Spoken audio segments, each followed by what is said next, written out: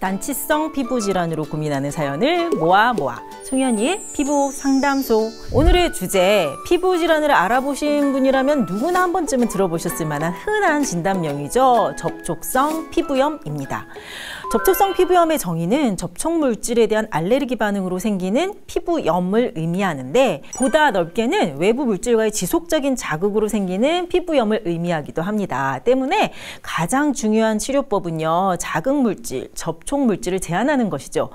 근데 뭐 새롭게 접촉한 것도 없는데 뭐 접촉성 피부염이라고 진단을 받았다거나 아니면 원인을 제거했는데도 증상이 지속되고 낫지도 않는다거나 다른 사람에게는 문제없는 일상적인 자극에도 피 부염이 발생했다면 이런 기타 등등의 고민을 종종 하게 되실 텐데요.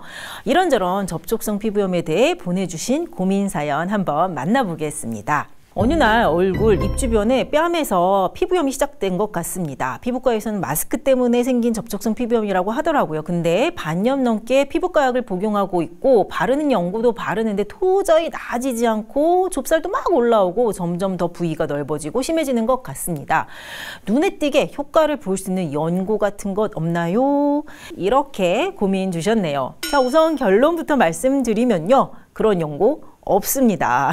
아니 오히려 지금 상태에서요 자칫 연고를 잘못 사용하면 다른 피부 질환으로 발전할 수도 있어요. 얼굴에 생기는 접촉성 피부염의 전형적인 패턴인데요. 또 최근 몇 년간은 마스크도 끼면서 얼굴 접촉성 피부염이라고 진단을 많이 받으신 것 같습니다. 마스크 때문에 뭐 바뀐 화장품 때문 등등으로 처음에는 접촉물이 원인이 되어서 얼굴에 뾰루지, 홍조, 따가움 같은 증상이 생기고 피부과에서 연고나 먹는 먹는 약을 처방받으시게 됩니다.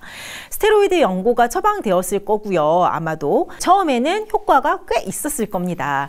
외용제나 먹는 스테로이드가 초반에는 소염 작용이 뛰어나기 때문에 잘 나으셨을 것 같은데 호전되었다면 연고를 끊고 다시 사용하지 않으셨어야 하죠. 근데 반년 넘게 지속적으로 사용한 게 문제가 되었네요. 이렇게 연고를 오랜 기간 사용하면요. 피부 장벽이 손상되고 피부 면역 체계가 무너지면서 모낭염, 여드름, 안면 홍조 따가움, 가려움 등등의 다른 증상이 동시다발적으로 나타나게 되죠. 때문에 지금은요. 엄밀히 말하면 접촉성 피부염이 아니라 약물의 오남용으로 인한 2차성 피부염입니다. 그래서 지금 이분에게 꼭 필요한 건요. 드라마틱한 연고를 또 찾지 마시고 빨리 테이퍼링을 하든 어떻게 하셔든 간에 연고를 꼭 줄이시고 끊고 손상된 피부 장벽과 피부의 면역 체계를 튼튼히 회복하는 게 필요합니다.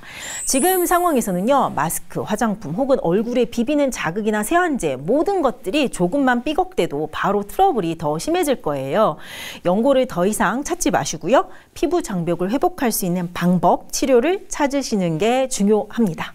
자, 다음 고민 상담 사연입니다. 안녕하세요. 제가 지금 눈꺼풀 접촉성 피부염이 지속돼서 스트레스 받고 있습니다. 원래도 피부가 지루성 피부염이 있어서 민감하고 약했습니다. 그러다가 눈 화장을 하고 면봉으로 클렌징을 자극적으로 몇 번 하면서 접촉성 피부염이 생겼는데 피부과 한 달 넘게 다녀도 나아지지 않아서 대학병원 가서 알레르기 검사도 했고요. 하지만 모든 알레르기 반응은 정상으로 나왔습니다. 병원에서도 딱히 원인을 모른다고 하고 지금은 화장도 못하고 있습니다. 있습니다. 면역력이 약해서 그런가요? 어떻게 해야 할까요? 이렇게 주셨네요. 자, 이분 고민 정리해 볼게요. 원래도 지루성 피부염 있었고 눈화장 했고 면봉으로 클렌징 자극적으로 한 후에 접촉성 피부염 생기셨습니다. 병원에서 뭐 패치 붙여서 알레르기 테스트도 하셨는데 이상은 없다고 하고 그러니까 이제 딱히 별다른 치료법도 없고 괴로운데 면역력이 약한 게 문제냐라는 내용입니다. 자, 우선요, 면역력이 약하냐? 라는 대답은요, 맞기도 하고요, 아니기도 합니다. 만성적으로 지루성 피부염도 있던 분이라면요, 면역력이 약하냐, 강하냐의 문제보다는 피부의 면역 체계가 고장이 났다. 그리고 과도한 면역 반응, 비정상적인 면역 반응이 일어나는지가 더 중요합니다. 비정상적인 면역 반응이 일어나는 자가 면역 반응이죠. 이것들이 피부에 일어나는 것입니다. 이렇게 기저 피부 질환이 있는 분들은요, 조금만 자극이 가해져도 피부에서 염증 반응이 폭 폭발할 수 있죠. 눈꺼풀, 눈 주변은요, 피부 얇고 예민한 데다가 색조 화장도 종종 하고 클렌징이나 화학 제품, 면봉 이런 거 자극도 되겠지만 피부에서 항상 염증 반응이 일어날 준비가 되어 있는 상태이기 때문에 남들에게는 문제가 되지 않을 만한 자극에도 접촉성 피부염이 더 쉽게 발생합니다. 어, 외부 자극물이 중요한 원인이 아니기 때문에요. 각종 검사에도 문제 없다는 결과 받겠죠. 즉 이런 분들은요. 자극물, 접촉물이 원인이 되는 접촉성 피부염이 아니고요. 피부에 항상 염증이 내재되어 있는 상황인 접촉성 피부염입니다. 제가 보통 가짜 접촉성 피부염입니다 라고 설명드리는 상황인데요.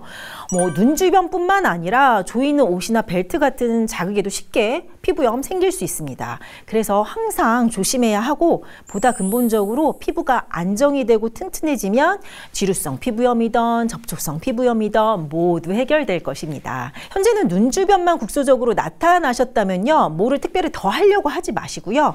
화장품도 최소화하고 순한 것들로 하시고 색조 화장이나 자극은 피하시고 자연스럽게 피부가 좀 진정되기를 기다리는 게 최선책입니다. 잘 주무시고요. 피부 자극 피하면 국소적인 접촉성 피부염은 회복될 수 있습니다. 하지만 만약 잘 낫지 않으면 이런 경우에 한의학적인 치료로 지루성 피부염, 접촉성 피부염 함께 치료 계획을 세우는 것이 좋겠습니다. 자, 그 다음 고민 사연인데요. 저는 만성 접촉성 피부염 같은데 특히 목 피부가 무지무지 예민합니다. 뭘 바르지도 못하고 스카프 목도리도 못하고 평소에도 아무 이유 없이 그냥 벌겋게 붉어지고 간지럽고 그런데 저는 면역 체계가 약해서 장벽이 약해서 만성적으로 접촉성 피부염이 생긴 것 같은데 어떻게 치료해야 하나요? 하셨네요. 이분 사연도 넓은 의미에서 앞에 분 사연과 맥락을 같이 합니다.